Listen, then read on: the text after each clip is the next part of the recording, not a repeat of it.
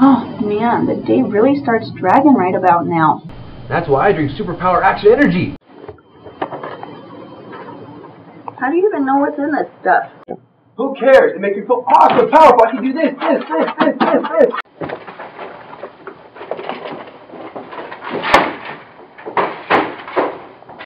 It says here that has phenolphthalein, um, malic acid, goat liver, nitroglycerin?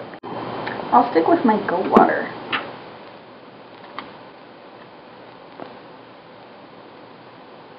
Simply water with a caffeine kick. Go Water. No psychotic episodes, just simply water with a caffeine kick.